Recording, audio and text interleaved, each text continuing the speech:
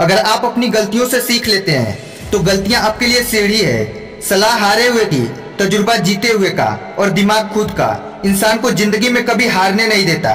तमाशा लोग नहीं, हम खुद बनाते हैं अपनी ज़िंदगी का। हर किसी को अपनी कमज़ोरी बताकर। याद रखिए, अगर आप किसी को रोशनी दिखाने के लिए दीपक जलाएँगे तो उजाला आपके सामने भी होगा। समय के पास इतना समय नहीं कि वो आपको दोबारा समय दे सके। हमेशा ऐसे लोगों के साथ रहो जो आपका लेवल बढ़ाने में आपकी मदद करते हैं। राजा की तरह जीने के लिए, गुलाम की तरह मेहनत करनी पड़ती है।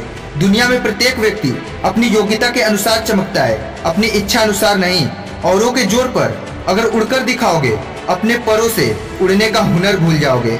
रात की पढ़ाई सबसे अच्छी पढ़ाई होती है, क्योंकि तब किताबें हमारे लिए और हम किताबों के लिए जागते हैं। सब साथ छोड़ दे, तब किताबों को अपना हमसफर बना लो, क्योंकि किताबें कभी बेवफा नहीं होती। अंधेरे की साजिशें रोज रोज होती है, फिर भी उजाले की जीत हर सुबह होती है। किसी की सलाह से रास्ते ज़रूर मिलते हैं, पर मंजिल तो खुद की मेहनत से ही मिलती है। कर्तव्य ही ऐसा आदर्श है, जो कभी धोखा नहीं दे सकता। और धैर्य ही एक ऐसा कड़वा पौधा है, जिस पर फल हमेशा मीठे आते हैं। किस्मत को कोसने वाले कभी कोशिश ही नहीं करते।